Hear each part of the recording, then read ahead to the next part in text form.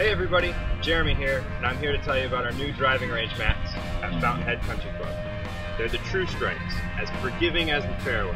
And there's two main sections, one for hitting irons and one for hitting woods. There's a gel sub-base below the turf.